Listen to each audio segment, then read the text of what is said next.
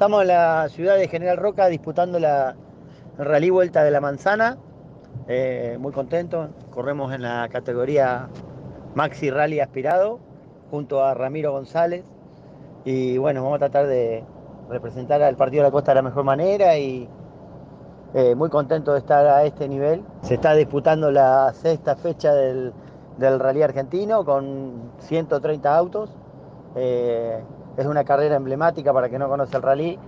Eh, es la Vuelta a la Manzana número 48 y se corre en todo el valle, a lo largo del valle, con, con una distancia total de 250 kilómetros. Y bueno, muy contento de, de poder participar y de estar acá.